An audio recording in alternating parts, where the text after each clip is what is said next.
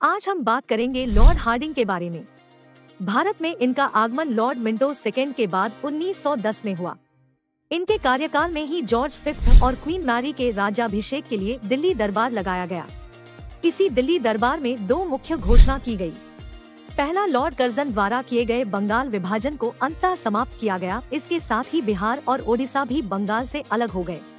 दूसरी घोषणा के अनुसार भारत के राजधानी को कलकत्ता से दिल्ली शिफ्ट करने का निर्णय लिया गया।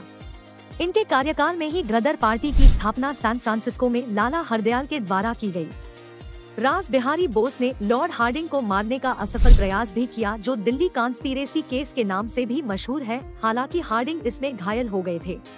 प्रथम विश्व युद्ध की शुरुआत भी इनके कार्यकाल में ही हुई थी।